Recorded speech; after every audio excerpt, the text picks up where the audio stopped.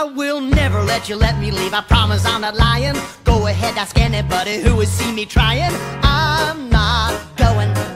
If it seems like I did, I'm probably waiting outside. Such a stubborn man, you'll likely never meet another. When we have our family dinner, you can ask my mother. She's the best. You'll learn more about her on our family history test.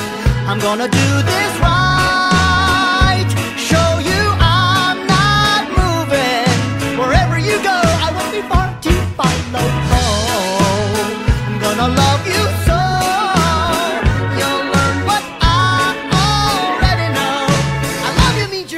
Ever, ever getting rid of me. You can try, oh, but I, I love you means you're never, ever, ever getting rid of me.